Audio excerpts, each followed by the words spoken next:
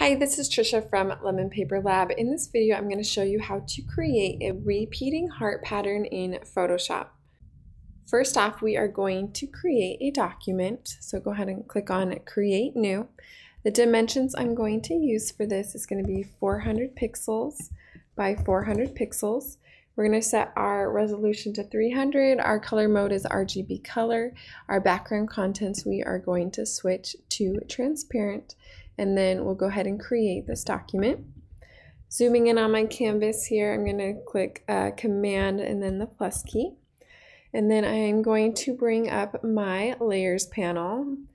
And then depending on where you have it, if you don't see your layers panel, you can go to Windows and select layers here.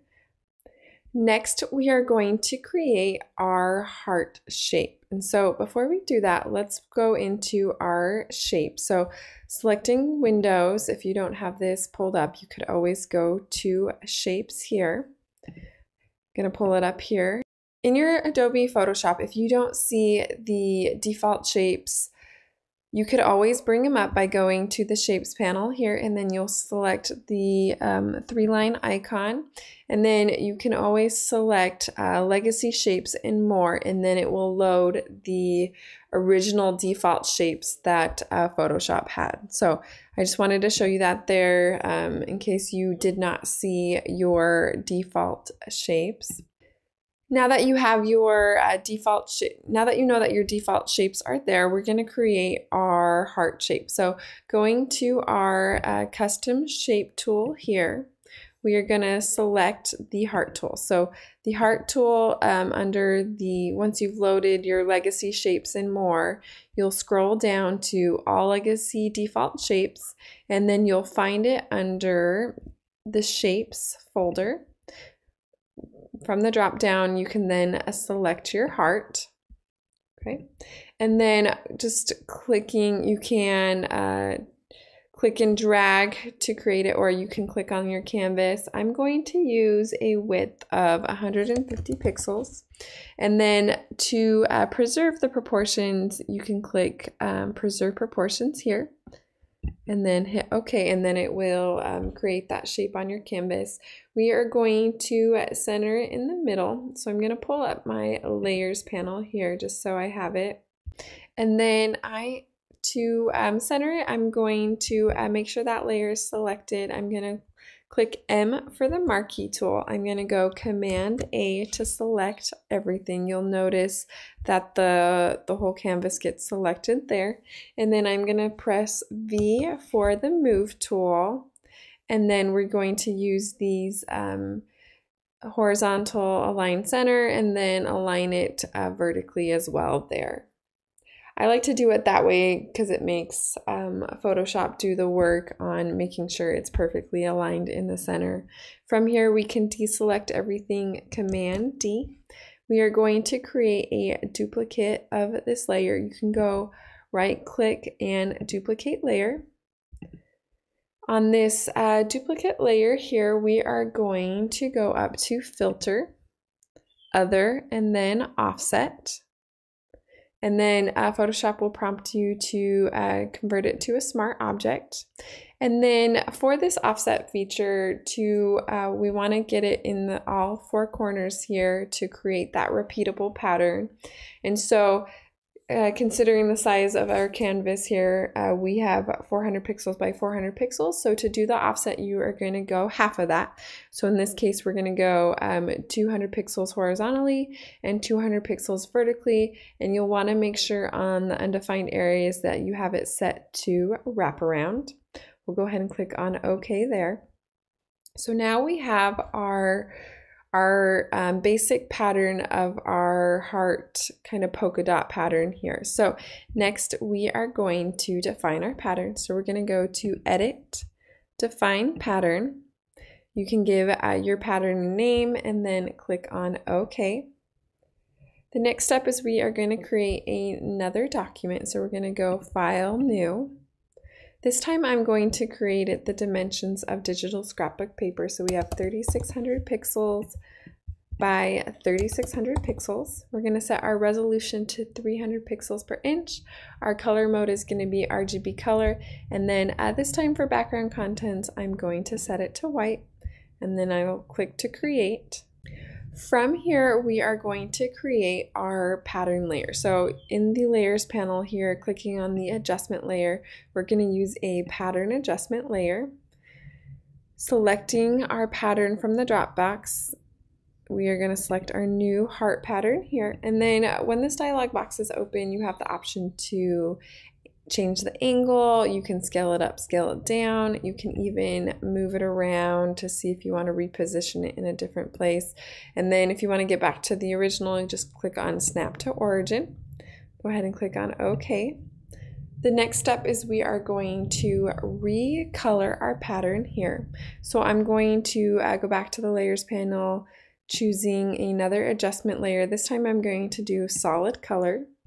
And then I'm going to select a color. I'm going to choose one of my swatches here. And then click on OK here. And then next you are going to create a clipping mask. So to do that, you can, with that layer selected, you're going to right click and you can select Create Clipping Mask, or you can use the keyboard shortcut hovering between the two layers here, you're going to click, you're going to select option on your keyboard and then click. That is for Mac users. I believe it's Alt for PC. So we have created our um, pattern and given it a color and then you can easily click back in on this layer and then select a new color if you like um, there, which makes it really easy to um, change the color of your image of your pattern design here. And then if you want to change the background color, um, you can add another solid color adjustment layer and then selecting another color here will give it this two-tone effect. I'm actually going to switch those ones. We'll put the lighter one on top and then we'll do uh, the darker one here on the bottom just to kind of give it that fine uh, two-tone effect here. Uh, the next step, I'm going to uh, create a group from these layers. So clicking shift and then selecting all of them there. You can go right click and select group from layers or you can use the keyboard shortcut command G for uh, Mac users there to create a group. And then uh, the next step is I want to try um, to create another heart pattern. So we're going to jump back into our pattern here. And this time I'm going to um, click on this center heart here. I'm going to rotate it. In certain pattern designs, you have um, prints that are directional and then you have prints that are can go in any direction and you achieve this by having the pattern um, not just be in one direction. So to do this, we are going to rotate this. So just with it highlighted, our move tool here, I'm just going to start the rotation and then I'll just um, select 180 degrees here and then click OK. And then we are going to define this pattern. So now we have, um, we'll unclick here first, edit, define pattern and then just select OK here. We'll head back into our document here. Let's go ahead and duplicate this group with the right click, duplicating it. And then um, you can pull the drop down arrow there and then we'll select this pattern fill layer, go ahead and click on it again. And then we will select our uh, new pattern that we created and then we'll hit OK. And so uh, now we have this pattern. And so with it rotated, it kind of looks just a little bit funky. The spacing looks a little bit off through here. And so sometimes it's just about trial and error and seeing what looks good. Let's go ahead and change the colors just to try another um, look here. So let's go maybe give it a little bit of a, a light blue and then we'll add a dark blue there just to give it a fun new effect. So I actually want to change that, fix that a little bit. I'm going to, this um, heart here that is upside down, I'm going to shift it up a little bit just to see how that looks here. So we'll, we'll just um, highlight it and then just kind of bring it up a little bit just to see how that looks there. So we'll go ahead and define this one, edit define pattern. Click OK there, and then we'll jump back in here. And then I'm going to create another group, duplicate this group just so we can kind of compare between the two. Highlighting on this pattern fill layer, double clicking, we'll select our new pattern that we created. And then you can click OK. And then you can kind of check to see if it has a little bit of a better look by moving it up. And then we will um, turn that layer off and then just kind of compare it. So that was our before.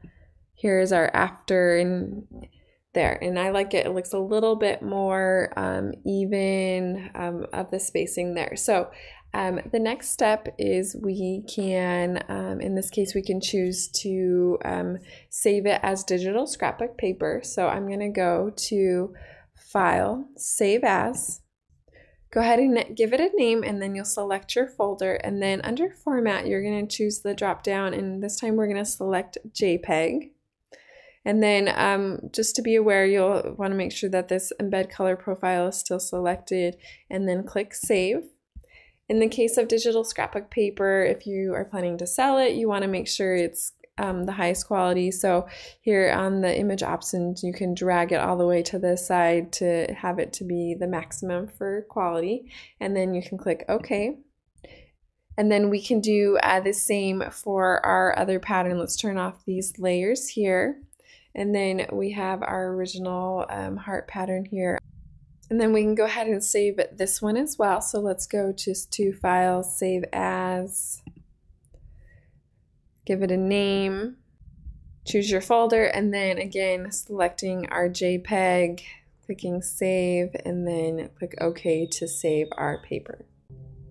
Thank you for watching this video on how to create a repeating heart um, pattern in Photoshop. If you like this video, uh, be sure to give it a thumbs up and leave me a comment below. In the description, I will leave a link to my shop where you can find uh, Photoshop pattern templates. You can also check out my Etsy shop where I sell digital scrapbooking paper packs. Thank you for watching this video. This is Tricia from Lemon Paper Lab. See you next time.